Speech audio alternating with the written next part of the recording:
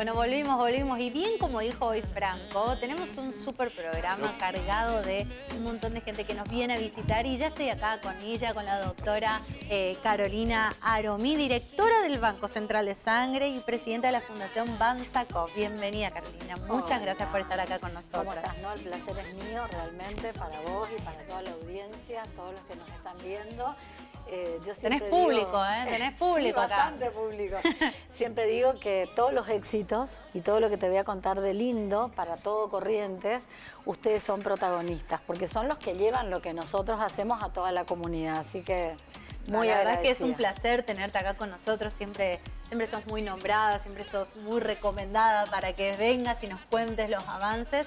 Y la verdad es que eh, si se puede decir periodo, está bien dicho, tu periodo en el, en el Banco de Sangre siempre ha tenido tantos avances y tan lindas cosas para contarnos que es un placer acá tenerte. Y más sabiendo que el día viernes 14 es el Día Mundial eh, de, la donación de, eh, de la donación de sangre. Sí, lo dijiste perfecto. Perfecto, viste, yo por ahí tantos nombres, tantas cosas que por ahí uno tiende a equivocarse. Eh, bueno, en mayo fue el, el, mes de la donación de órganos, el 30 de mayo es el Día Mundial del Donante de órganos. Y el viernes 14, como bien lo dijiste, es el Día Mundial del Donante de Sangre. El 9 de noviembre es el Día Nacional del Donante de Sangre. Tenemos dos días al año. Claro, ¿viste? Porque está complicado. Claro, está complicado. Pero en realidad es, no es complicado, sino es que es muy fundamental, ¿no? Porque yo siempre digo, la sangre no se fabrica. Y 10, eh, si vos tomas 10 personas, 9 personas van a necesitar sangre en algún momento de su vida. Ya sea para uno o para, el entorno. exactamente, es una realidad que por ahí cuando uno lo padece o lo necesita, toma conocimiento y conciencia de lo necesario e importante que es hacer ese aporte cuando uno puede, digamos. Claro. Bueno, entonces nosotros en, los lineamientos fundamentales, como vos bien decías, mañana justamente, un día antes del Día Mundial, eh, cumplo tres años de gestión y eh, las cosas más importantes que se pueden resumir en este tiempo es que aumentamos el 70% de números de donantes voluntarios.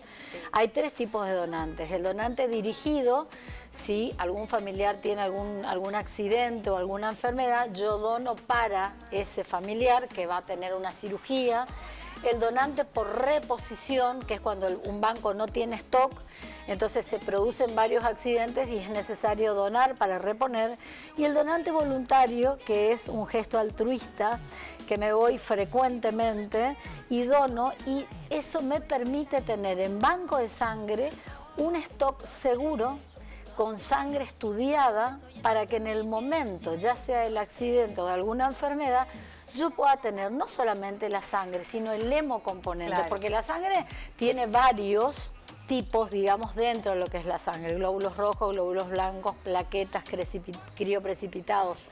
Entonces, no siempre yo necesito de todo. Entonces, el darle a la persona lo que necesita es lo que nosotros llamamos transfusión segura y oportuna. Y de eso se debe a este gran avance que fue el concientizar el cambiar el paradigma y que uno se vuelva donante voluntario. Son 15 minutos. Eso te iba a preguntar. Eh, Carolina, hay muchos mitos al respecto y uno de los que te quiero preguntar, que es muy frecuente la pregunta, es ¿cada cuánto una persona puede donar? Bueno, fisiológicamente puedo donar cada dos meses. Nosotros, por una cuestión de que protegemos muchísimo al donante, eh, recomendamos cada tres meses. Y hay un hecho que es eh, la mujer en edad fértil, la mujer eh, que está, ciclando, digamos, con, las menstruaciones, decimos que done un poquito menos, cada cuatro meses, o sea, tres veces al año. Eh, mira, yo doné el 8 de marzo para festejar el Día de la Mujer y doné la semana pasada en Paso de los Libres, casi ni pasaron los tres meses y realmente el donar eh, no, no, no trae ningún efecto negativo, al contrario. Yo creo que sí, al contrario, sí. Vos sabés que la Organización Mundial de la Salud expresa que el concepto de salud es el bienestar físico, psíquico y social. Y cuando uno dona sangre está bien físicamente, se siente bien psíquicamente porque está dando algo al otro. Te decía hoy que con esos 15 minutos se pueden salvar hasta cuatro vidas, tres adultos y un bebé. y aparte hace un bien social, porque hace que aumente este stock que te decía y podamos tener esta sangre segura para el momento que cualquiera de nosotros lo necesite. nosotros o nuestro entorno. Carolina, me estabas comentando que hay, formas nuevas de las cuales ustedes vinieron trabajando y que obviamente las están, eh, las están mostrando y justamente quisiera que me hables un poquito de eso. Bueno, eh, la donación de sangre no es solamente, eh, bueno, si nosotros decimos donando sangre, salvas vidas. y no importa el color político, la, razón social, la economía que tenga, el que necesita, necesita, y en cualquier momento. Eh, pero aparte de eso está la célula, la donación de células progenitoras hematopoyéticas que se conoce como médula ósea. Eh, bueno, nosotros trabajamos muchísimo en aumentar esto. Corrientes en, 14 años dio 700 inscriptos al Banco Mundial que está en el Hospital Garrahan. Banco de Sangre, en uno de los lineamientos de la gestión, eh, realizamos un convenio con Incucay y el primero de agosto del 2017 comenzamos con nosotros como una posta de donación. Hay 120 en toda la Argentina. Bueno, en 14 años 700 inscriptos. Nosotros hoy tenemos 2.946. Hizo que en el tercer mes seamos récord. Y hoy Corrientes es la primer el Banco de Sangre de Corrientes es la primer posta de donación de toda la Argentina. Superamos al Garrahan, al Hospital Italiano, a todos. Este, esto se traduce en hechos. Eh, hace dos meses, un chico de 25 años de Montecasero expresó la voluntad de ser donante de médula ósea y salvó la vida a una nenita de Holanda de tres años. La nena ya no tenía, ya no tenía esperanzas de vida. Realmente había pasado, estaba en lista de espera hace muchísimo tiempo, desde que nació prácticamente. Y, bueno, eh, se, pudo efectivizar esa, este, este trasplante. Así que, como yo digo, estamos trabajando y los hechos dicen, ¿no? Así que vale la pena estimular a que, a que esto crezca. El año pasado fuimos por un poco más, por algo más y más eh, eh, que nos parecía que, Corrientes no podía estar afuera. Imagínate lo que te voy a contar, que cuántas provincias tiene, tiene Argentina. Eh, y Corrientes es la quinta provincia. Firmé convenio el año pasado con Incucay para recolección de sangre de cordón umbilical. Esto es un procedimiento que se realiza en el momento del nacimiento. Sí. Cuando el bebé nace, se extrae el bebé, ya sea por parto o por cesárea, se clampea, le decimos nosotros, o sea, se corta, no se corta el cordón todavía, sino se lo presiona y en ese momento se espera unos minutos a que se produzca otro momento del nacimiento que se llama alumbramiento, que es la exteriorización de la placenta. En esos minutos... ya me fuiste muy, muy pragmática. Muy técnica. entendí todo. Entendí todo. Si se, si, si se entendió estaría eh, bueno, si no repetimos. porque se, se, entendió perfecto. En ese momento que eh, tenemos que esperar, que todos, yo soy obstetra, que tenemos que esperar, todos los obstetras, que son unos minutos, sin lesionar a la mamá ni al bebé, se coloca una, una agujita que se llama Avocat y se extrae, antes que se produzca la extracción de la placenta, esas células madres. Esas células madres son totipotenciales, o sea, pueden generar cualquier tejido, nos generan a nosotros, digamos. Todos estamos acá porque fuimos alimentados de una placenta. Esas células son ricas en células progenitoras hematopoyéticas y un montón de cosas más que siguen en avance constante de la medicina. Antes esto se iba, se desechaba. Hoy tenemos la oportunidad, Corrientes firma, y mira lo que te voy a contar. Empezamos el trabajo el 13 de febrero. Firmé el convenio el año pasado. Un poco me criticaron, decían, Carolina, ¿por qué no empezás ya? Yo decía, no, primero tenemos que capacitarnos. Claro, importante. Y nos capacitamos en todo ese tiempo. El 13 de febrero comenzamos con una técnica especializada en las dos maternidades más grandes y una en banco de sangre formamos un equipo, esto es un trabajo con Ministerio de Salud Pública, Cucaicor, Maternidad e Infancia, las dos maternidades, Ángela eh, Eloísa Torrén de Vial y Ángela eh, de Llano de la Dulce Espera, y Banco de Sangre. Entonces, todo esto es, hizo que podamos ser la quinta provincia. Miren la cantidad de provincias que hay en Argentina y la cantidad de placentas que se tiran, ¿no? Exactamente. Bueno, empezamos el 7 de marzo con la primer colecta. El 13 de febrero empezamos a fidelizar las mamás. Hoy tenemos la mandada la colecta 73. Excelente. 73. O sea que son 73 mamás que expresaron la voluntad y ya están en Incucay. Eh, a ver, yo voy a preguntar más que nada por, por la experiencia y demás.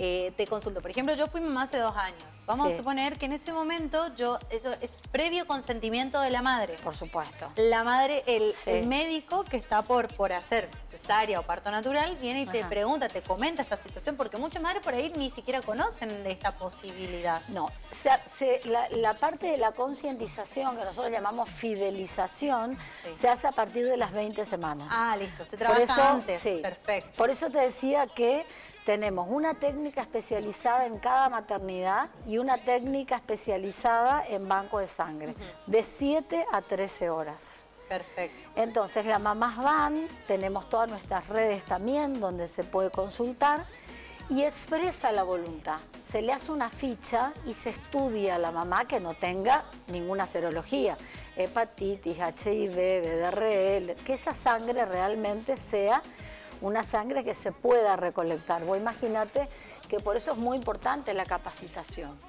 porque esto es totalmente gratuito. Supone un costo y una logística que realmente es tremenda, ¿no? Sí. Entonces, primero nos aseguramos de que esté en condiciones. Bueno, se puede dar el lujo de tener un margen de error tampoco, porque estamos hablando de sangre. Bueno, eso es, eso es lo otro. De las 73 que mandamos, todas fueron exitosas. Exactamente. Y ahí a las personas que decían por qué se esperó tanto, por qué el banco esperó cuatro meses como para empezar, yo siempre digo de que la capacitación es lo más importante. Y la capacitación, y no solamente el, ir tan rápido, porque en tres años crecimos muchísimo. Nosotros lo que, lo que hacemos es mantener y superarnos constantemente. Y por eso todas las colectas externas y hacer mucho hincapié de que el Banco de Sangre Central no es el banco solamente de capital, que está en Córdoba y Moreno, pero que es para toda la provincia. Disponible a todos, en realidad. Eh, Carolina, te quiero, quiero que me sigas contando, bueno, ¿qué hacen estas células cuando, bueno, cuando se extrae? ¿Qué, qué posibilita hacer con estas Mira, tu pregunta es muy interesante porque hasta hace unos años, que no había evolucionado tanto la ciencia, el trasplante se hacía a través de una cirugía. Hay algo que se llama médula, que muchos confunden lo que es la médula. No es la médula espinal la que va por la columna. Donante de médula vos pensabas que te iban a sacar algo, ¿viste? No. La médula se saca o del esternón y es como, voy a decir algo muy, muy común, es como el caracú del hueso, digamos. ¿eh? Es la parte interna del hueso. Ahí es donde se generan todos los componentes sanguíneos y se hace o del esternón o de la cresta ilíaca, del hueso sacro. Esto era la forma tradicional y entonces si vos eras compatible con alguien de otro lugar del mundo, este, tenías que eh, pasar por este procedimiento. Nosotros ahora contamos con un aparato que se llama aparato de aféresis, que como su nombre lo indica, es un separador de los componentes sanguíneos.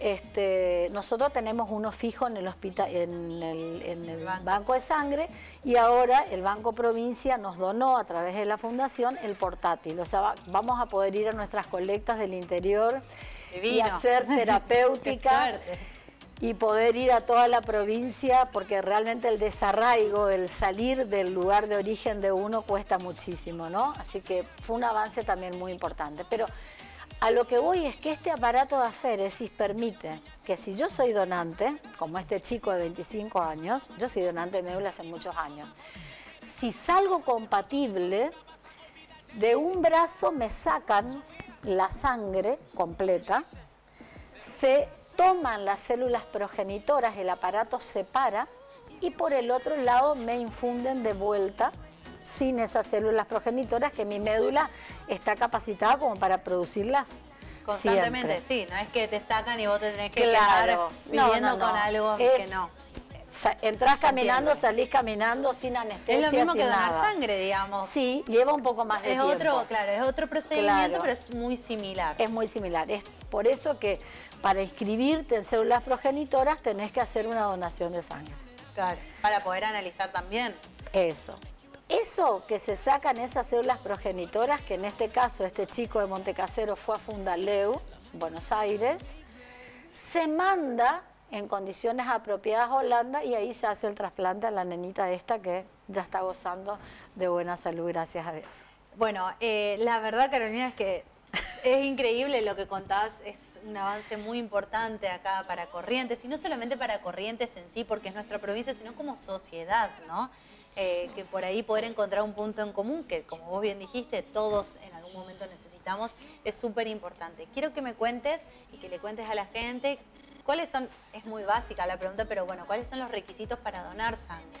Bueno, te decía hoy, el primer requisito es la edad. Entre 18 y 65 eh, años eh, podés donar sangre a partir de los 16 con autorización de uno de los papás y más de 65 años si ya sos donante y tenés una, eh, una aptitud, digamos, por un médico que lo podés hacer. En esto está en relación a lo que te digo que cuidamos mucho al donante. Yo soy donante de sangre y tengo tatuajes, eh, así que el tatuaje no es un impedimento, tienen que pasar seis meses. El banco de sangre evolucionó mucho en tecnología. Nosotros tenemos laboratorio de biología molecular y podemos disminuir el periodo ventana, que es cuando hay algo, un virus, una bacteria o algún germen, ingresa a tu organismo, tiene un tiempo hasta que se expresa. Con este laboratorio podemos disminuir, pero seguimos eh, las normas nacionales e internacionales, que las últimas fueron eh, de España, donde se esperan seis meses para el tatuaje. Eh, posterior del, al tatuaje. Claro, tatuajes, intervenciones, cualquier tipo de intervención médica. Si recibiste sangre, tenés que esperar seis meses para donar. Tenés que tener más de 50 kilos, porque se adelgaza un poquitito cuando uno dona. Eh, tenés que estar bien hidratado, no hace falta estar en ayunas. Eso también es un mito que mucha gente cree que tiene que estar en claro, lo relacionan los análisis de sangre con, la extracción y la donación. Es verdad.